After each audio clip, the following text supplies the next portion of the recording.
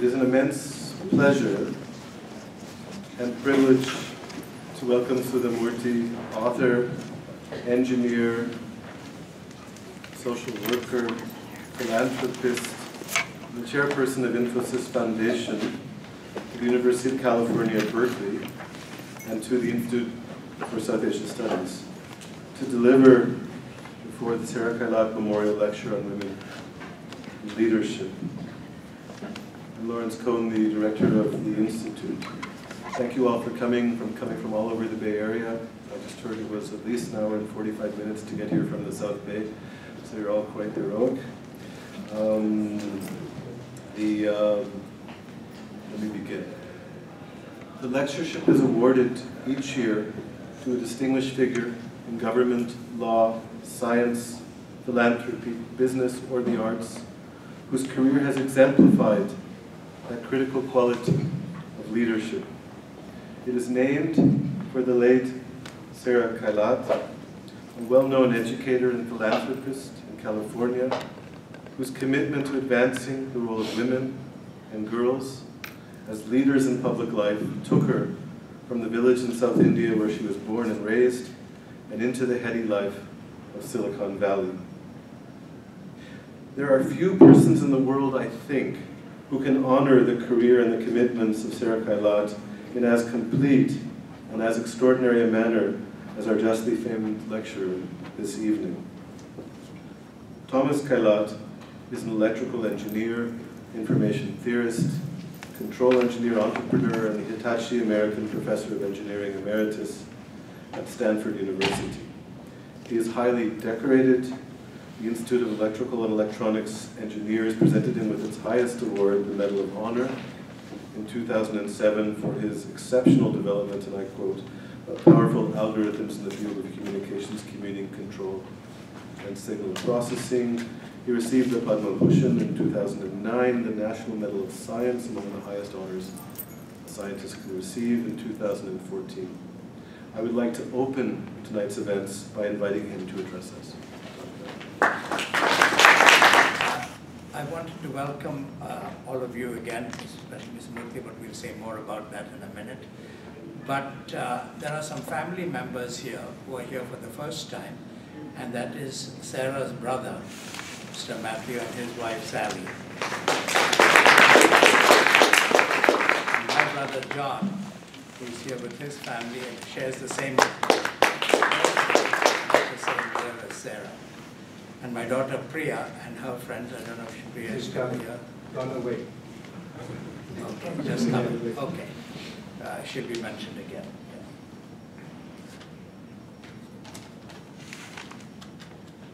Uh, Let me tell you the origin of this uh, lecture. Uh, Several years ago, uh, I had surprised my wife Sarah on her 50th birthday and nearly the 30th anniversary of our marriage by arranging with Professor Goldman, Professor Poulos, and Berkeley uh, a chair called the Sarah Kailath Chair, of which the whole, first holder was the distinguished Professor Goldman, who was here. Now, Sarah was uh, not very happy with this because she's a very publicity-averse person. And she agreed to attend the inauguration, which was done by the uh, famous Indian uh, astrophysicist and Nobel laureate, Subrahmanyan Chandrasekhar. But after that, she did not want any uh, events which named her. Now, she passed away in 2008 after a long battle with cancer, where she beat the odds by far. She was given six months, she lived five and a half. And in those years, she regarded as most of the, about 80 or 90% of the time, she was blessed with reasonable health. But she had started a charitable trust some years earlier, but the cancer accelerated her efforts. And I see our, one of our first managers, Ash, uh, Alo uh, Sangupta, who once remarked that one night she got 10 emails from Sarah about uh, some of the trust matters. Well, after her passing, I decided to override her wishes and inaugurate the lecture. And this, the, uh, it has been a distinguished uh, set of lectures, and uh, it will be added to by our present lecture. And I was particularly uh, captured by the title, Philanthropy, an Option or a Necessity. And when I think, can, can you hear me, sir? At the back? Uh, because it, it, for Sarah, I think it was a necessity. And uh, it, it brought to mind a story that one of her schoolmates had sent to us on the occasion when she passed away. In some very lower grade, one in, in a village in Kerala where she grew up, the teacher was uh, very harsh with the student sitting there saying, how come you are here? Your parents haven't paid the tuition. You have no right to be here, so don't come back tomorrow unless the tuition is paid. So after the class, Sarah went up to this girl and said, what's the problem? She said, oh, my parents are going through a difficult time right now and they can't afford it. Well, Sarah had two, two gold bangles on her hand and she took them off and gave it to her and said, you know, give this to your parents and let them work with it and when they are able to repay, they can repay. So that's astonishing because if a young girl goes home and says, what happened to your bangles? I just gave them to someone. But uh, fortunately, her parents were pretty broad-minded and applauded her decision, actually. And uh, all her life, actually, one of the things that, that gave her the greatest pleasure was making other people happy. And she devoted a lot of her energy to that. And uh, I'm happy to say uh, Priya is now here. Our uh, youngest daughter, third uh, child, is uh, following in her mother's footsteps and has started a charity which is named after her mother uh, in Hayward, California. So uh, the inspiration lives on. The topics of the lecture, which is again appropriate, was uh, I, I, drew inspiration from it from my at that friend, Dr. Anu Maitra, and now my wife, and she uh, said, you know, this is going to be the century of women, and more and more attention needs to be paid to them. And uh, so we chose the topic, women and leadership. And uh, it has been a good topic. The first, very first speaker was Kamala Harris, who at that time was running for Attorney General of California, and now is running for the Senate. And uh, now our fourth speaker is uh, Mrs. Murthy. And I must say, we, I don't know if they've made it yet, but there's an organization in the South Bay called Indians for Collective Action. And they too have set up a program, and Bhupen Mehta and PK Mehta for Indians of Collective Action should be here. And they have a program also called Sarah Kailath Women's Leadership Program, which, where they pick up potential women leaders in India and give them training and support as they go back. So the topic for me is personally very uh, uh, moving, and I would just like to if uh, give the chair back to Lawrence, and who will. Thank you all. So I face a challenge.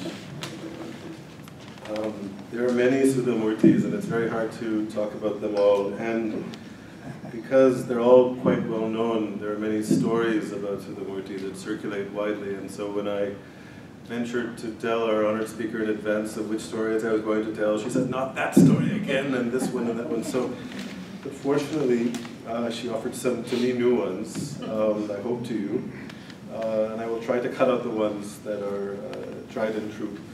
They're all good stories because they really do exemplify the question of leadership, particularly in, in fighting uh, sexist exclusions. So um, this is uh, Sudha Murthy's second visit to Berkeley. She came here in 2007. We're grateful she could come back.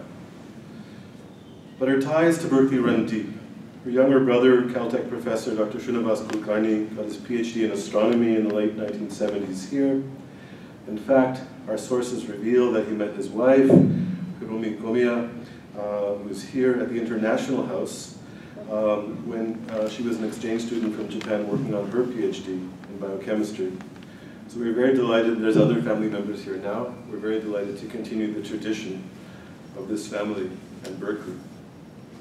Sudha Murthy has a master's degree in electrical engineering from the Indian Institute of Science, uh, Bangalore. It's more than that. In 1968, she was the only girl in her engineering college. Uh, the story I will tell you, um, and I hope I get it right because I've just learned this story, is uh, um, uh, Mrs. Murthy's father, who was a doctor, a small town, uh, said, You're very, very good with people. Uh, you should be um, a doctor working with women. Um, her mother, a teacher, mathematics, said you should be a mathematician. the, um, there were several other leading people in her life. You know, uh, I think it was her grandfather, but I. Uh, uh, she reads voluminously, not just writes voluminously, particularly in history. And so uh, she was telling me that before she went to Iran, given a long-time fascination both with Persian and the relevance of Persian to Kannada, that she was reading many, many books and became somewhat of an expert in the subject.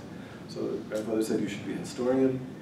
Um, in fact, the only thing she was told not to do by many was to become an engineer because there could not be a, there were no women in the college. The head of the college said she's very smart. Yes, she'll get in. That's a good thing. But but then we have to build a, a restroom for her, and, um, and then after she leaves, no woman will ever come again. And so, what's the point? What will she do with this? Her grandmother said, "You'll never be able to get married in our community." Uh, and person after you know, person, men's, you cannot do this. Um, so all these possible careers to be a doctor, noble profession, to be uh, a mathematician, um, to uh, be a historian. She chose, of course, being an engineer. Um, and uh, there are the stories I won't tell you, but story after story, position after position, she's told she cannot apply for a job. She's told she cannot do this. And she finds a way forward in, in rather heroic ways.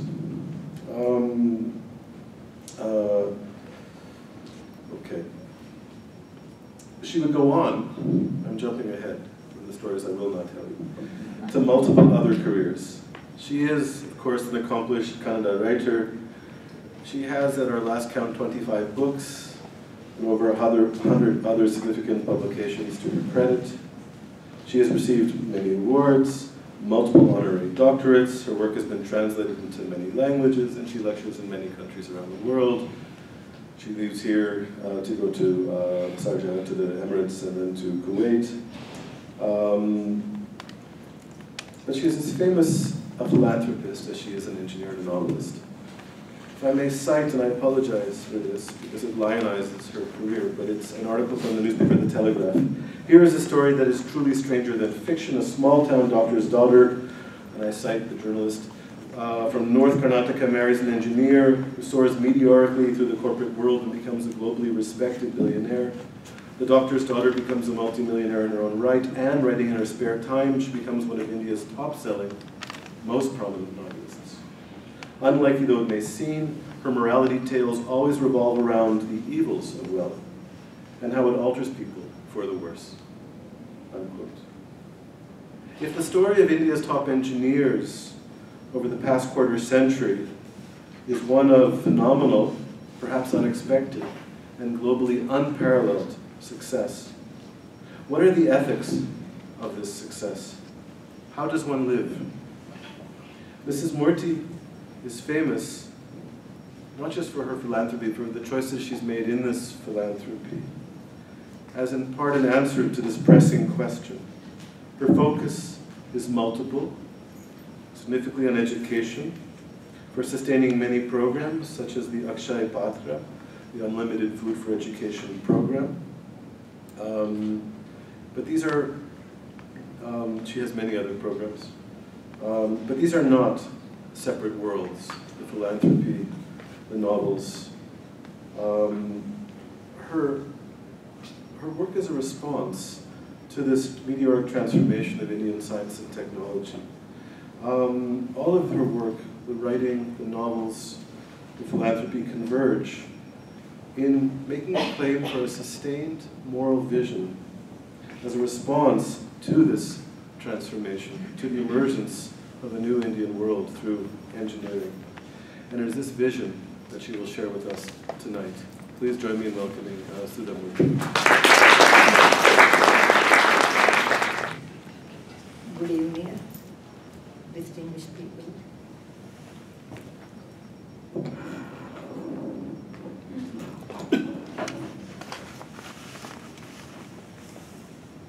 Normally, I don't want to give lectures because I really feel there's nothing I can talk about.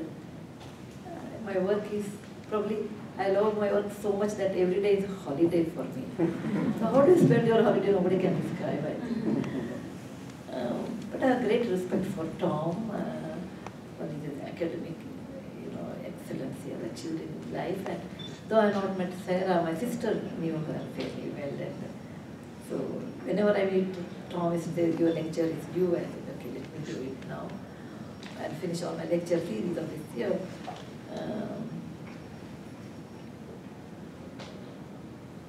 When I tell about uh, philanthropy, is a must or not, is a necessity or it- there are many ways you can talk, but I just want to tell you a story before I start because I used to teach computer science in Bangalore University about 15 years back and I became more irregular than my own students because of my work schedule was so tight and then I said, I will not continue, I'll be on the board. The best way I think you can escape is be on the board, then you don't have to teach.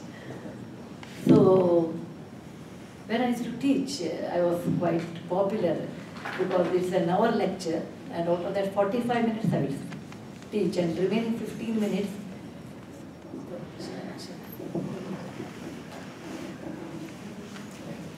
That everything is okay because you are the one who is recording. Speak louder. You're a teacher.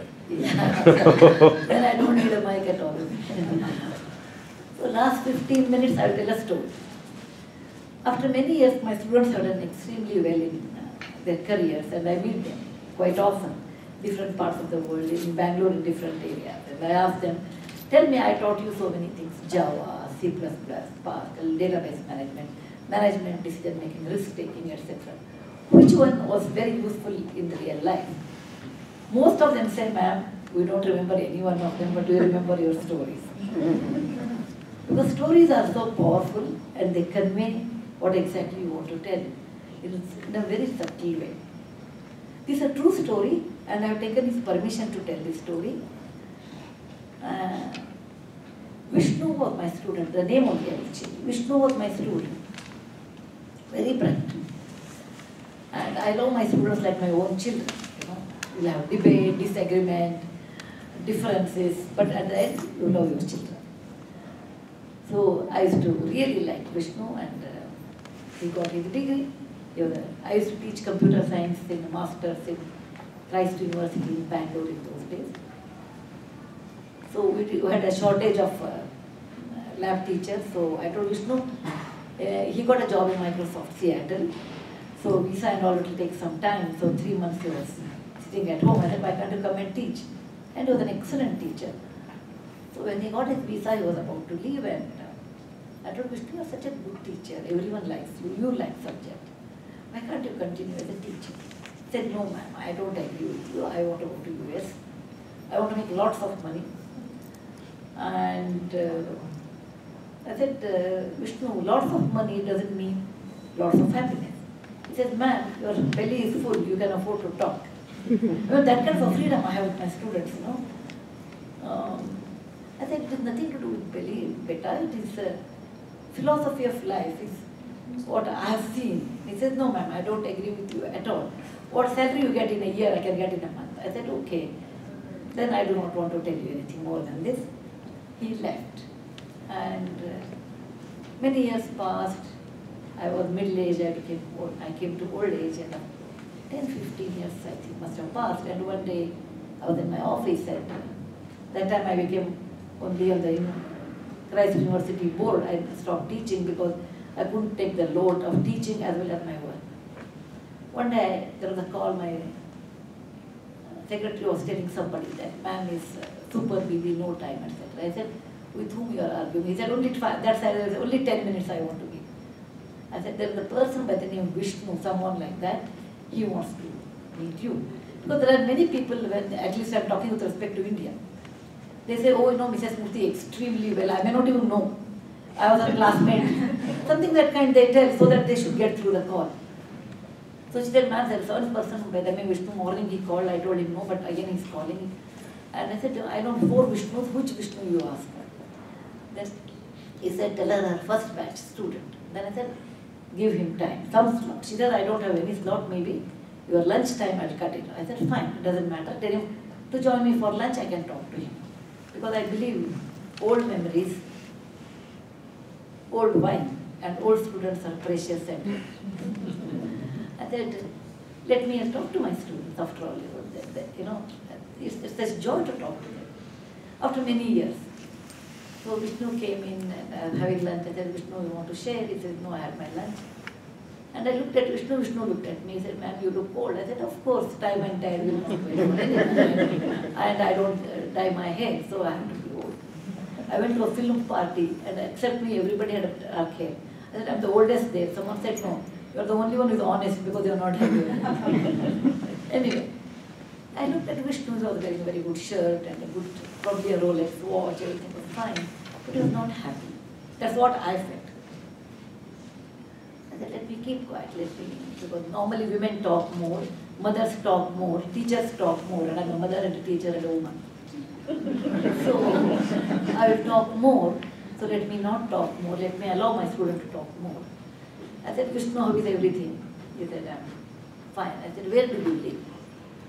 Uh, then he said, uh, I came, he said, oh, I, I, I live in many places. I said, uh, I knew only God can many places.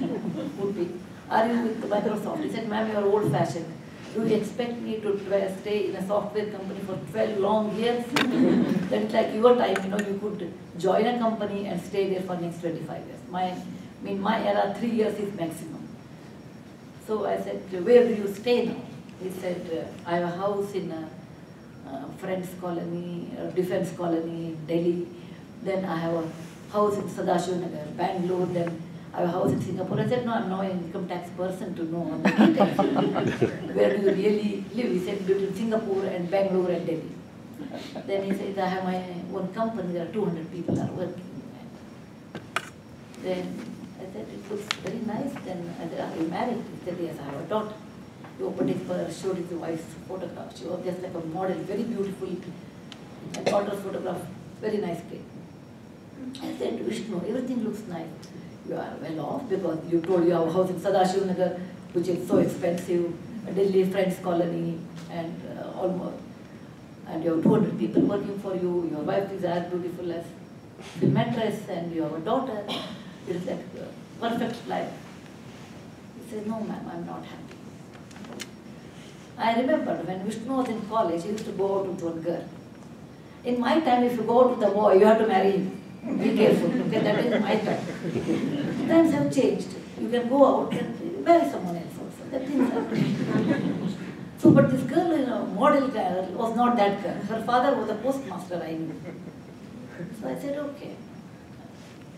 Vishnu said, ma'am, I'm not happy. And uh, that's the reason I've come to see you. I said, better I'm not a Guruji or somebody who can give you happiness in a package. or a yoga guru in seven, yoga posture you get happiness. Or a Reiki guru. I'm not, I'm not a psychologist. I'm a very ordinary computer science teacher and a philanthropist. So in what way I can give you what you're asking or give the formula for happiness? I don't have that. He says, uh, Mom, please listen to me what I feel I want to tell you. I'm traveling. I'm traveling in a desert with no water. I can see an oasis, but I'm all alone. And there's no shade, and I'm tired. I said, You're talking like me, like a writer. You tell me, what, what do you mean by that? He says, I feel I'm very lonely, I'm very unhappy, and I can't share anything with anybody. Wait a minute said, how many friends do you have? He said, how do you define a friend? Depending on that. I said, I define a friend, male or a female, with whom I can shamelessly, openly, without any condition, tell about what I feel, without any hesitation. I can share my thoughts, my joys, more than my joys, my sorrows. He said, if that is your definition, I don't have any And I said, how do in 15 years you never made any friends? He said, ma'am, in business, when I was building business, I thought if I meet Mr. X, I should have an advantage with Mr. X or Miss X. In the sense, it should be a business connection. So I will meet that person, I will get some contact, every person or hub of contact. I meet you, something I'll get from you. I'll, with that help, I'll meet someone else, I'll get something. All the time, meeting a person means for me nothing but a business contact.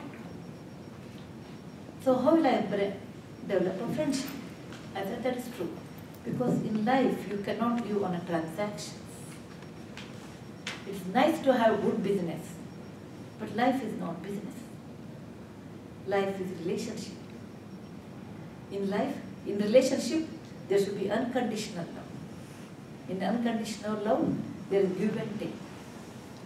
I said, then I said, uh, you don't have friends. I said, then you are married. You can open up with your wife. He said, no. My wife is a daughter of a very well-known carpet businessman. She owns a carpet company and she supplies carpet all over, exports carpet.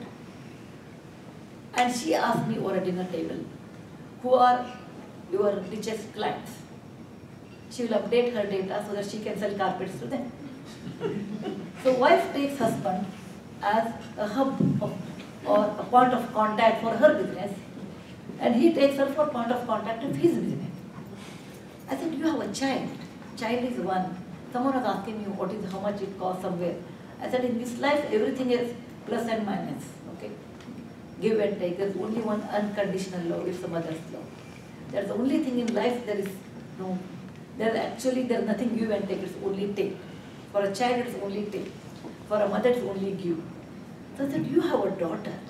So it's unconditional love of a child. You can be friend. You can. There's so much time you can spend with your children. He said, my daughter is super smart. Between both parents, she will judge who is weak at what time. She will ask something. I said, no, I can't give. She goes to mother and puts in a different way.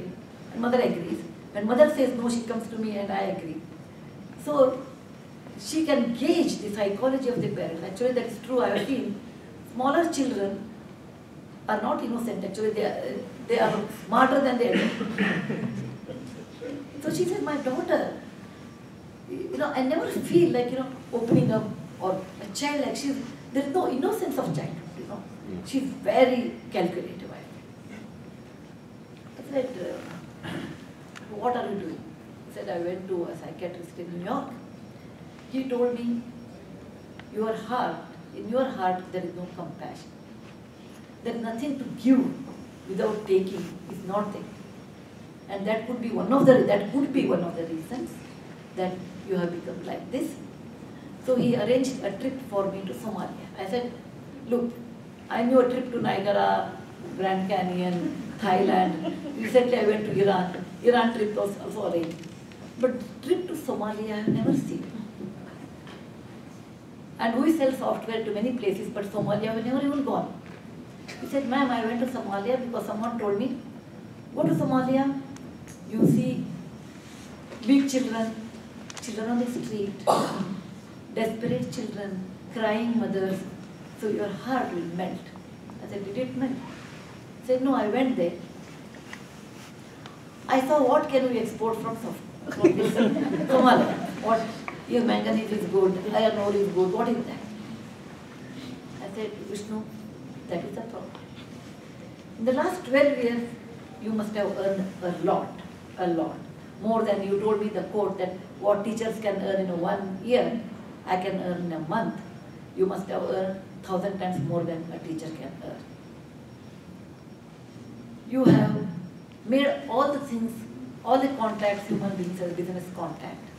And that is the reason you are, and you know, I thought in my mind, he got married to this lady here, carpet businessman, because of the contact, not a postman's daughter, because there's no contact with the postman, other than giving letters. so I said, look, you have made very simple rules in life. A human being is used, but not a bridge is made between two human beings. Every human being is an island. I am an island, however good or bad, I am an island, and you are an island. And one human being to another human being, you can connect only through a bridge, and bridge is the relationship. How do you make a bridge? When somebody is in difficulty, you have to help. Uh, that means the steel is used. When somebody is anxious, tell them a few solace words. That means a cement and cast is made. When someone wants physically something, go and give. The road is made on the bridge. It takes time better to make a bridge. It is not like overnight you make a bridge. So is human relationship. And this takes time. And this time is non-productive according to you, non-useful to you. Because what is the business in that between two people? But that is the secret of life. In life, earning money is not the only thing. Spending that in a proper way, either with words at times. People think philanthropy means always money. No. Part of it is money. There are many things in philanthropy. A kind word, a good gesture, someone go and help physically, appreciating something, what somebody has done. Everything is philanthropy. Philanthropy is very, very beautifully defined in so many ways, in so many cultures. In Greek culture, they say phil means fellow, philanthropy is fellow, love the fellow human beings. Rich or poor, love your fellow human beings. Don't expect anything from that fellow. Just love how God loves us. Just love that person. If someone is in dire difficulty, share whatever you have. And that makes you a better human being for your sake, not for that person's sake. It makes you a normal human being. It keeps your head above your shoulder. And that is what our ancestors have told. Somebody asked a question in Mahabharata, they say, when you earn a lot of money, what happens? When you earn a lot of money, what happens? What do you do with that money? To earn that money, you really work hard, struggle, at times cheat, lie, but you make a lot of money. What do you do with that money? Wait for a minute and think, what do you do with a lot of money? One is you can enjoy. You can hire your own jet. You can go. You can stay in a seven-star hotel. You can eat whatever you want, but after certain age you can't eat whatever you want. and whatever you want, you eat when you are young, it shows when you are old. the effect of that. Tell me more. You can wear dress, very good dress. What is very good dress? A golden dress, very heavy. A golden rice cannot eat. What do you will do with a lot of money? It is an insecure mind feels lot of money means lot of security. A secure mind, a mind which understands other human being, a mind which loves fellow human being. Lot of money means lot of donation. That's all. A lot of money means lot of giving. That's all the use of money. Suppose you don't do all those things, but you have a lot of money, what you will do? Because how much you can eat, how much you can fly, how much you can drink, how much you can wear. There is an end for that. Then you leave that money to your children. Now children get this kind of money without hard work. Suddenly there's a lot of money for children without hard work. Then they will, their life is destroyed. Please remember, when children get a lot of money, without understanding the source of money, how it, is generated, how hard you know, parents have worked, it is worst way to give children so that they will go, they will use it in a very wrong way. If you don't either of them, either of them, then this money should be given in dana or give away. Taittiriya Upanishad is 33 stanza in the Upanishad which tells in olden days in India when children used to stay with not with parents but with rishi or the teachers, they used to stay in the in-house uh, boarding school in those days. They were talking about 2000 years back. The last day when the, the mother was the teacher's wife and the father was the teacher. That's the way. That's the in Upanishad we say the third line in Upanishad says Acharyam Devo. That means, oh teacher, you are third in the hierarchy. I salute you. Teacher played a very important role in one's life. And when the student decided to go home, he used him 33 stanzas how one should live in life. And that he says, Danam Priyavak Sahitam. Oh my child, when you grow and make a lot of money, please remember, it is meant to give others. It is not your own money. The money of what you earn is definitely part of the society's money. You own it. It has to go back to society. When you give, give with kind words. Take money and get lost is not correct. You may you take this money and prosper, you should say. Danam priyavak sahitam. Shraddha hi. You should believe in that cause. No, I will, I will scratch your back, you will scratch mine. It's never a dana.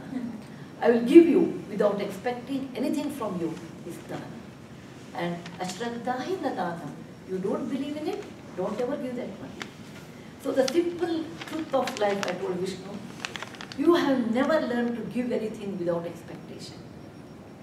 Everything is a picture perfect. You are a beautiful wife and your child does not require any role model outside. Parents are the role model. They have seen you and your wife the way you transact each other. Your child has become exactly a replica of yours. She will take advantage of parents because she knows which, is, which line is weaker at that moment of time. And that's the reason with this kind of a money, this kind of a beautiful wife, with a family, why you are not happy is you have never given anything to others. And that is a curse with the money you got it. Money is never a curse. Money not giving to others and keeping to yourself all the time is a curse. And this is a simple thing in life. You must learn. When you make money, you have a duty towards society.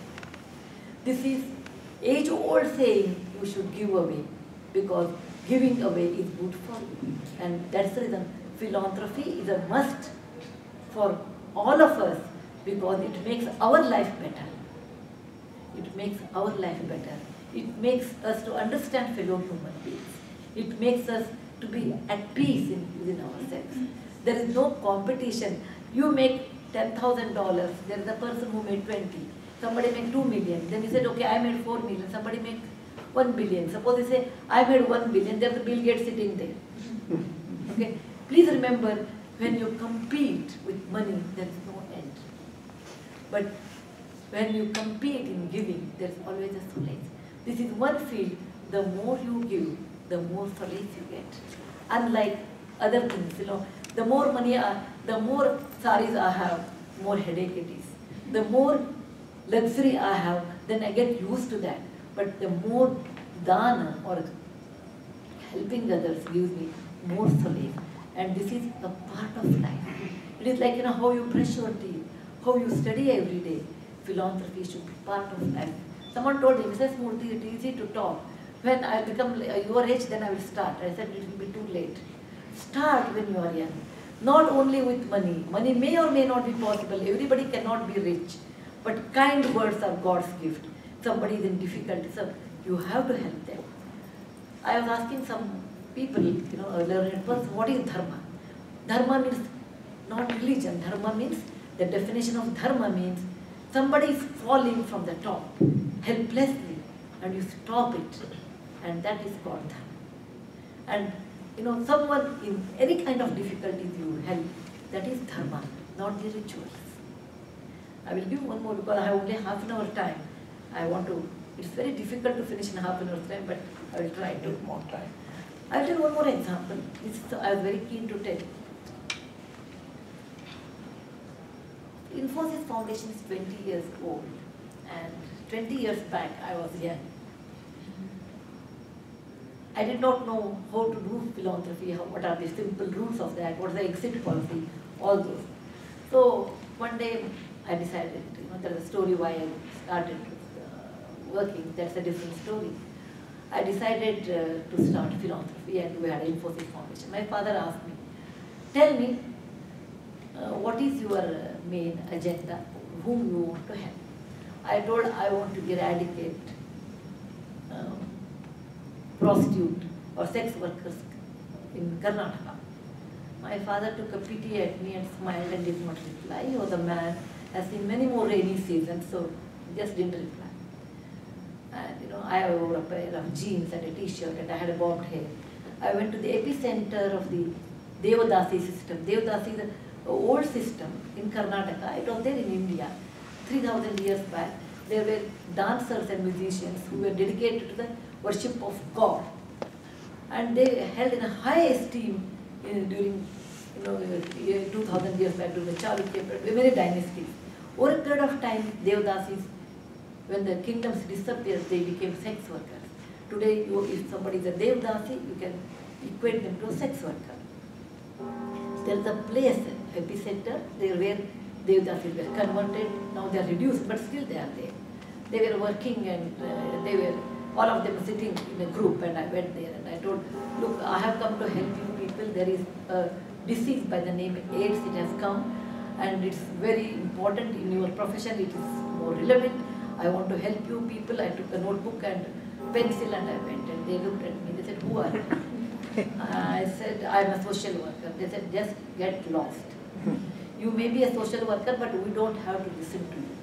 You may write our story and make money, so we don't want to talk to you. I said, no, I have come with a real reason and all. They took, some of them got so upset with me, they took a chappal, slippers and threw at me. I came back, I was quite disappointed. I really wanted to help because their life is a difficult, time. And I felt very genuinely I wanted to help, but they threw slippers at me. After 15 days, again I let me try again. When I went there, it was tomato season, there was harvest, and there was a lot of tomato. They were segregating, and again I would go there and I tell them, look, I want to help you, please give your name, etc. They said, same lady has come who wants to help, but they made fun of me. They threw tomato at me. I came back. And I started crying. I said, why I should do all those things?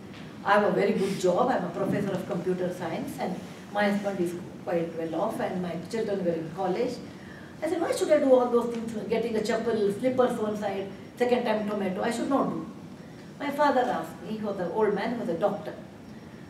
He said, uh, why are you crying? I said, you know, I did like this. He said, come here. Did you see yourself in a mirror? I said, no, I don't see mirror because I don't require. I'm not Miss India. Why should I see 20 times a day? I just put a bindi, little two eyebrows. I know how to put it. He said, no, I want to see your image in. I saw. I said, what is that? There's no change. He said, look, look at you. You wear a pair of uh, trousers and a t-shirt and a bobbed hair and no bindi, nothing. You go there in an area where these sex workers with no education are living. And you talk about AIDS and and you know, helping them, etc. How they can identify you with them? You are, a, you know, an unknown person to them.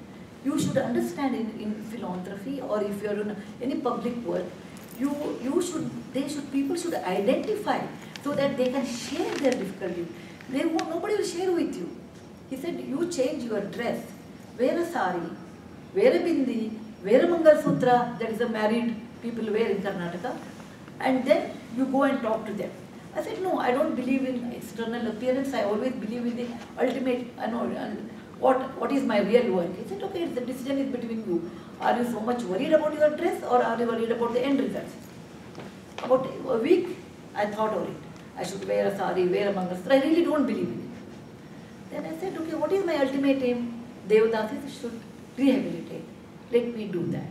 Then I went and bought 200 rupees of Mangal Sutra, tied my hair, or 200 rupees sari.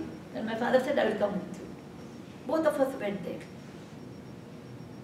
And uh, my father said, you don't come, I will talk to them. He, then he went and talked, how is the weather? You had a proper rains, all those things. I was thinking, why is he wasting time beating the bush? And then my father said, uh, what are your children doing? They said, somebody is studying, somebody is not studying. He said, look, my daughter is going to give you scholarship to all your children. And I was very upset, I never told that. The old man has made his own story, maybe because he's my father. No? Story I told my father in a different dialect, I called him because I speak about seven, eight languages. I called him and told him, how did you promise without asking me? He said, just keep quiet. And he came back and told me, a woman, if the woman's weakest spot is children. If you want to help Devadasis or sex workers, please help her children first. Then she will listen to you. Instead of talking about AIDS and all, they get scared. First you talk about their children. You do not know human psychology. The best way to get mother is through her children. Because if you tell your child is a great, every mother will be very happy. Similarly, you tell your these ladies that I will help your children. And my relationship with them started helping their children and talking to them. They never knew about Infosys, they never knew about my name. It was an advantage to me. They called me Akka. Akka in Kannada means sister. I became their sister and they never read share market or the uh, uh, you know, what is the Infosys uh, share price, etc. They never knew. Good, they were never knew. They, then my father said, she is my daughter, she's a school teacher. I said, why are you lying? He said, are you not a teacher? I said, yes. How does it matter, a college teacher or school teacher? Both are same. So I got a respect because I'm a teacher. I got respect because I wear a Mangal Sutra. I got respect because, you know, I look like them wearing that kind of sari. I got respect because I'm helping their children. My work with sex workers started. And slowly I became their friend and then they started telling their problems and many people told how they were sold in the market. It was horrible stories, one after another. Everybody would come and cry in front of me.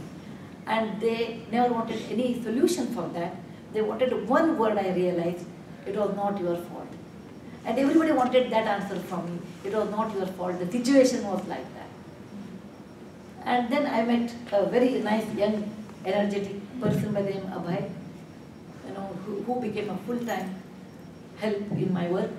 We established and registered organization for the sex workers. We got many facilities from government. And 17 years passed.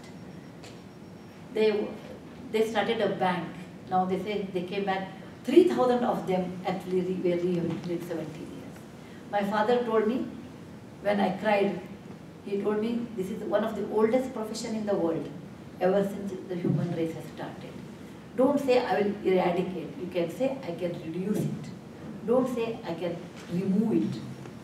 And in my lifetime, if you can rehabilitate seven, uh, ten sex workers to normal life, I will be very proud father. I gave birth to a daughter who could rehabilitate ten sex workers. When my father died of heart attack, I could rehabilitate only seven.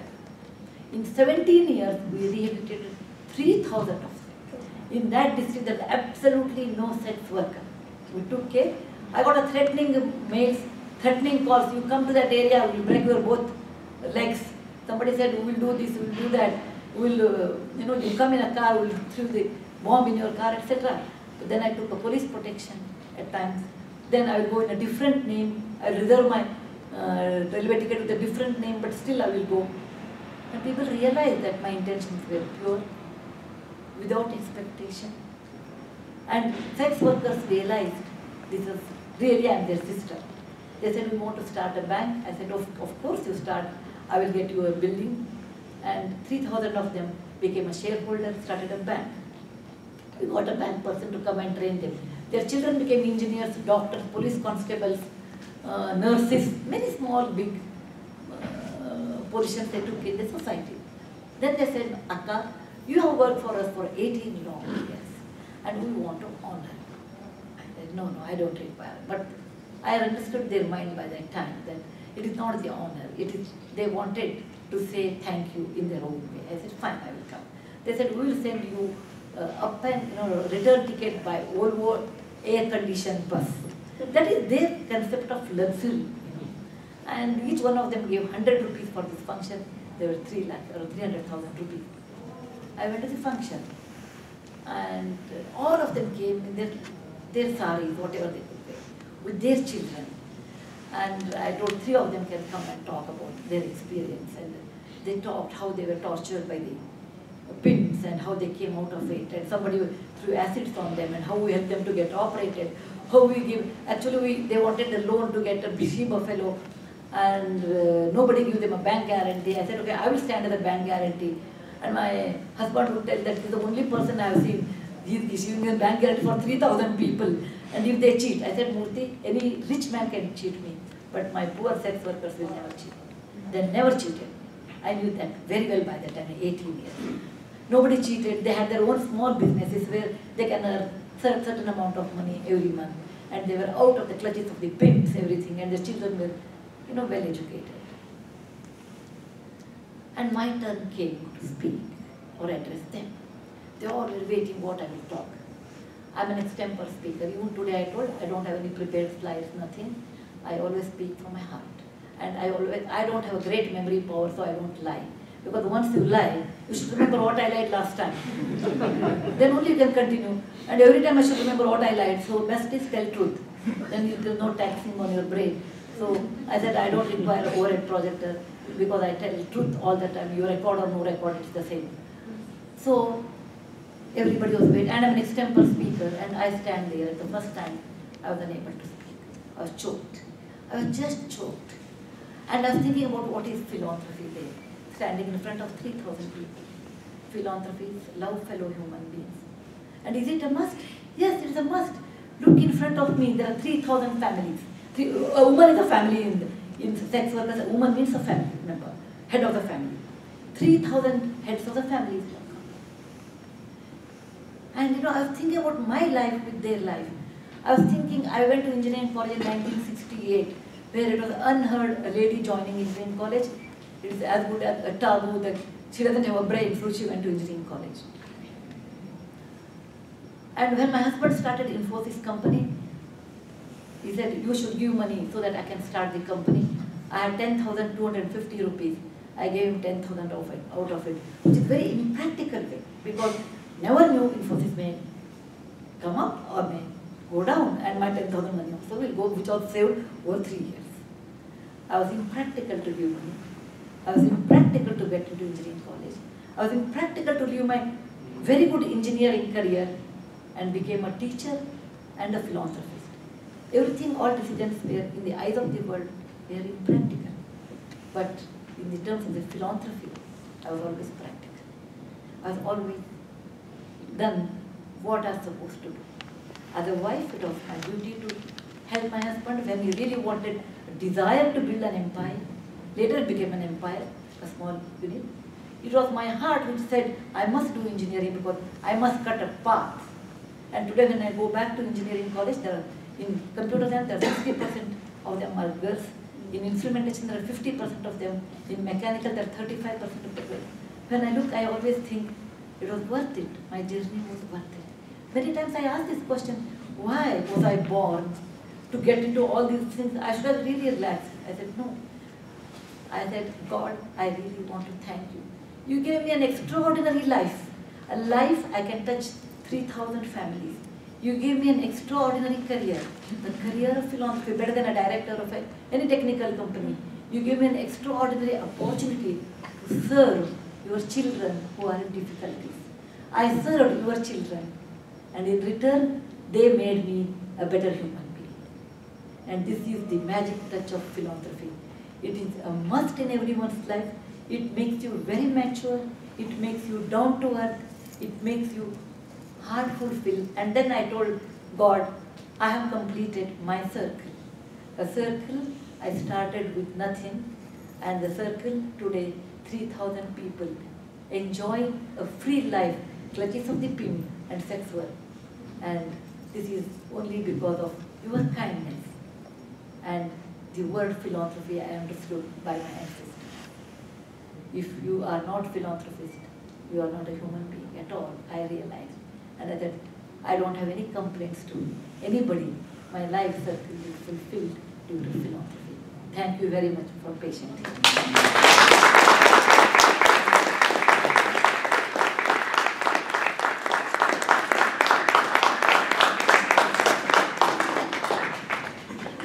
Yeah, I will. So please, if you have any questions.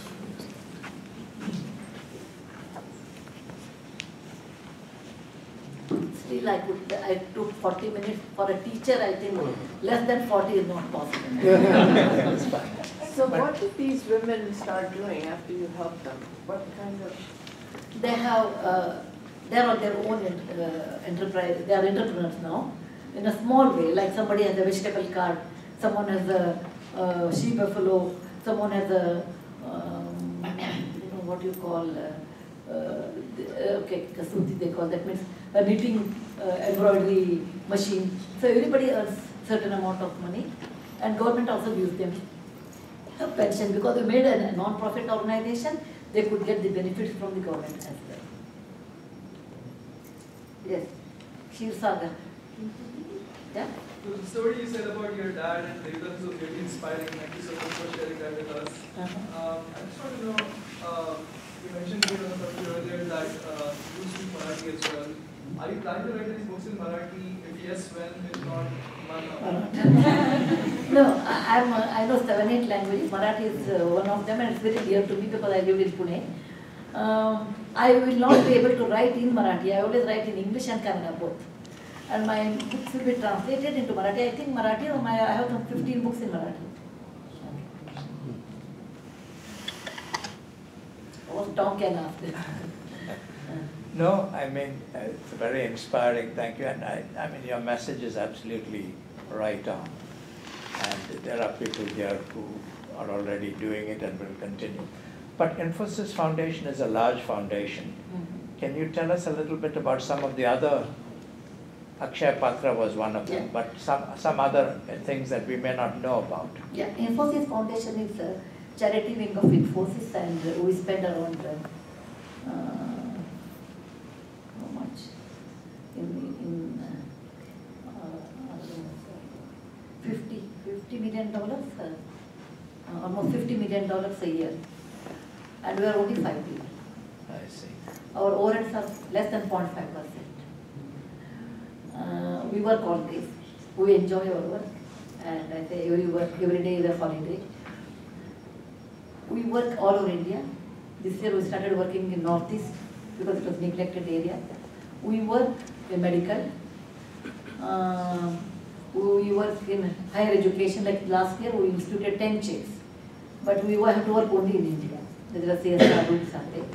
We instituted 10 chairs in Chennai Mathematical Institute, Triple ITB, IIT, uh, AIIMS Delhi, you know, many places, you know, higher education, cancer research, etc. We have scholarship programs. Then we do a midday meal program. Uh, we build kitchen and also pay money for the every child. Uh, we work on uh, art and culture. Like the dying arts we revive. We document arts also. Um, then uh, destitute rural development we do. Uh, we have built roads, bridges, and plus national calamities. Like this year, there's the Hudhud operation. We're building 3,000 houses. We have built 13,000 toilets. 60,000 library books we have given. Um, then 3,000 houses we built in floods in northern, in southern Maharashtra and northern Karnataka. Uh, so many things we have done, a lot actually. But we do all in India. This year Infosys uh, Foundation USA has started here in Bay Area uh, under Vishal Singh. But details I will not know. I know I'm responsible only for India. So does, does the Infosys company give a certain percentage? Yeah, 2% of their profit. Two percent. And I feel that's really good because I only feel I wish they should have given 20 years back when I was young, I would have done a lot more work. But, uh, but still, uh, it's not bad. Okay. Still, I can work another four or five years, I suppose. And uh, I worked in Jammu, or, uh, Kashmir, everywhere. Everywhere you can see now. First of all, thank you for coming. Uh, I, I- I had one question, like you mentioned the importance of donation. Uh, what are your thoughts about like lending, like micro lending or something like that? So, like this is a constant struggle which goes on in my mind as well as I think in many people's mind that sometimes when you donate the money, uh, when there is no obligation of giving it back without any interest or anything, you are actually not helping that other person. He may become reliant on you yourself itself. So what were, what were your experiences in that and what are your thoughts about micro lending? I'll tell you. Listen. Um, actually, when we give money, we have certain principles in that. By giving money, you should never make people dependent. There should be an exit policy. Like we never help anyone more than three years, sometimes five years. Exception is these uh, sex workers. We help them for a long time actually, because it took some time for them to come out of it. By and large, there should be an exit policy. In, in uh, Orissa, when I was working, there was a set of people. They were always kept poor. Whenever somebody comes, show them, okay, this is the tribe which is poor. And over a period of time, they became like, like an exhibit in the exhibition. You know, people will come, look at them and give money. That is never a philosophy, making people, killing the initiative. You should hold their hand in such a way that every year should go on reducing the donation and winning it and then make it zero and they should be on their own. we are only helping hand. We are not there forever. Now coming to microfinance and all, you can do that. It's not uh, very difficult, but you should have a very good governance in that. And you require a, a good establishment for that to govern. And again, it depends on, you know, which area you do. For example, a state of Bengal, a state of Bengal and state of Kerala, where women are more educated and where women are more controlled than men, actually. That's a fact, Tom. I'm sure uh, you are from Kerala, you know. Women are stronger there, particularly with their background. And so is Bengal. There you can do microfinance better than any other, any other state. A, a place like Bihar and UP you cannot do. Because men are stronger and if woman wants to do that, man will not allow her to do that one. He will, uh, wife may be a chairman, but the real chairman will be her husband sitting at home. So it, it depends on the social structure of each state. Please remember, India is not a country, it's a continent. It has many countries inside. And every, every state has its own culture. So you have to be very careful what project you apply. For example, uh, according to me, Gujarat is the place, anybody is Gujarati here? Gujarat is one place where you can do the best of the social work.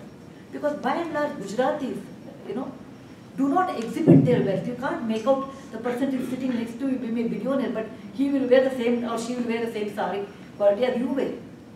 Okay? It is not a showing off. Punjab, you can't do that.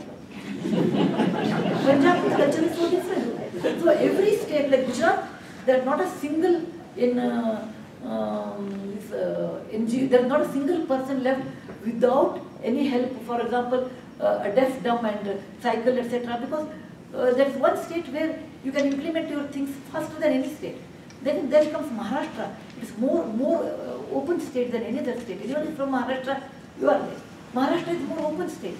Any women-oriented policies we have applied with education is first we implement in Maharashtra. Teachers training, women's teacher training we do first in Maharashtra. So every state we have to weigh pros and cons and we should do. It is not like, you know, just go ahead blindly, no.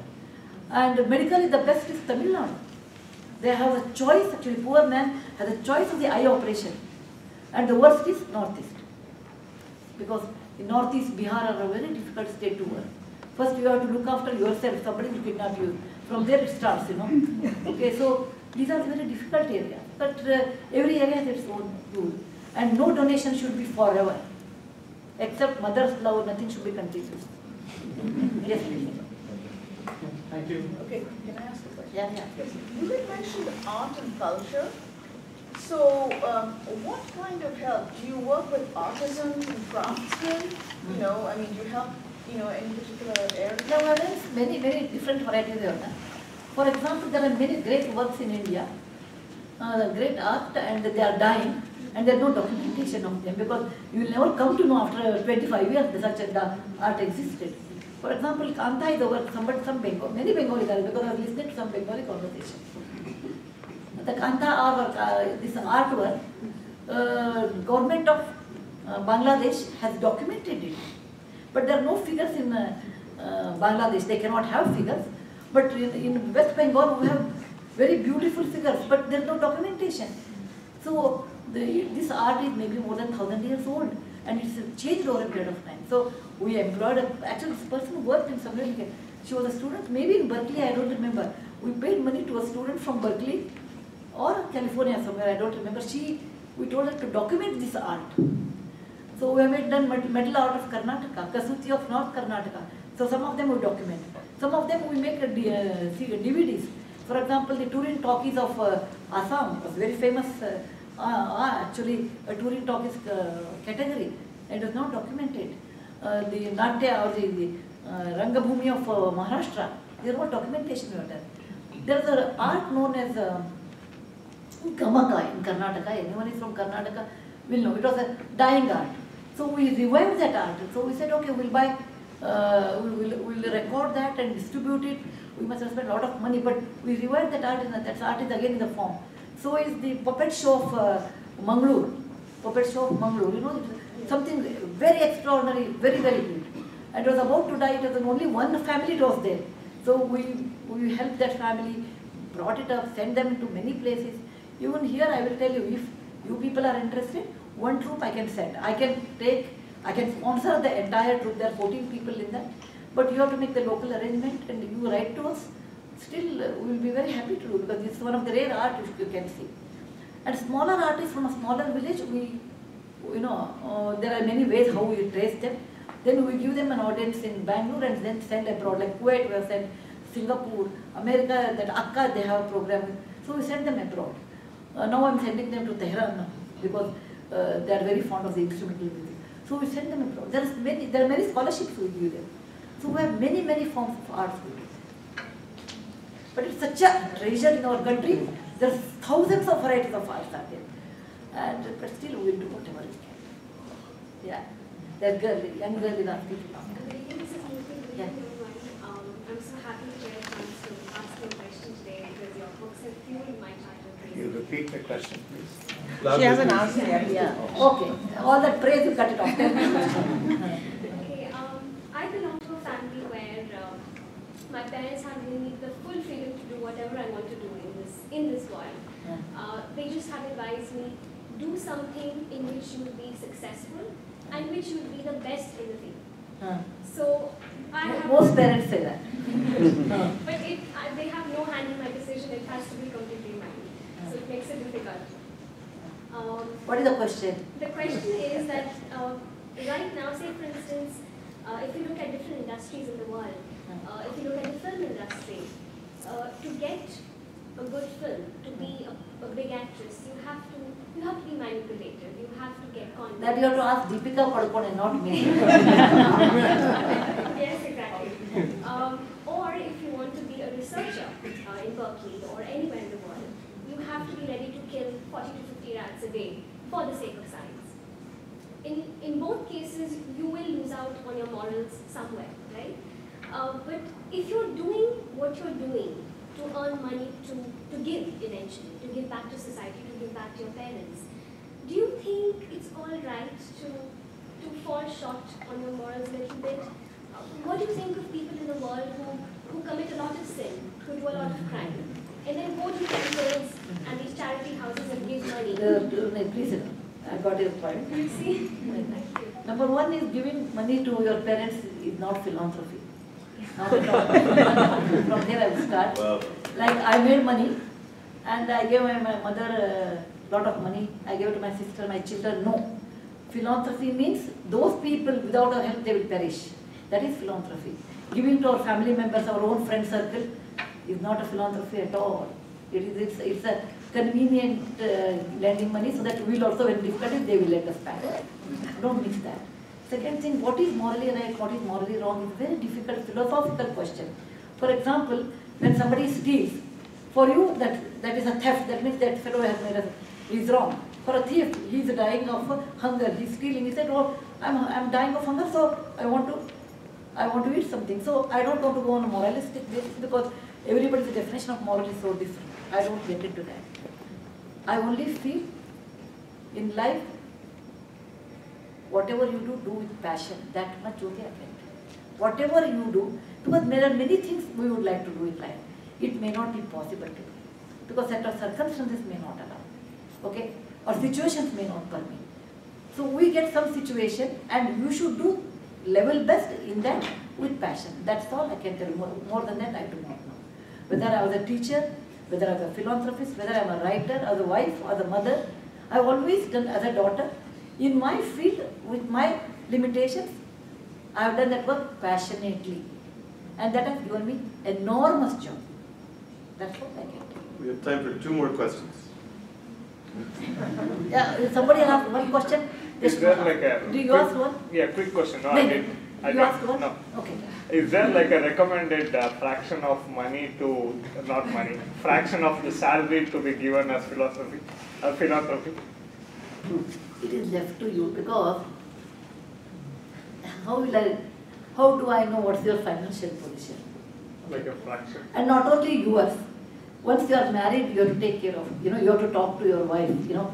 That I always believe, like any philanthropy you do, you, there is, in Dharma Shastra only it tells, don't do so much philanthropy that your family will become beggar, you know, beggars and they will ask money from somebody. You should never go out of the, I mean, your, whatever is your limitation. So again, it is left to you how much you want to do. There is no rule like that. To give ten percent. How we are deciding on ten percent, two percent? It is left to you. Basically, it's not money. You are again coming to the money. I am not telling money. Actually, I wrote an article. I am not selling my books here, but it's one of my book I have written there. I had a friend actually who just is to listen to your difficulties. No judgment was given.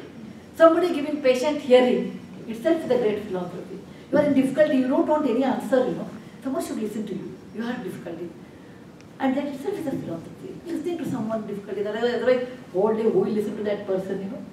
So money is some portion, but listening to somebody's difficulty, giving moral courage. Someone says, I made a mistake today, I know, you, you, then you say, it serves you right. So that's not correct thing. It, do, it does happen. People who walk, they fall.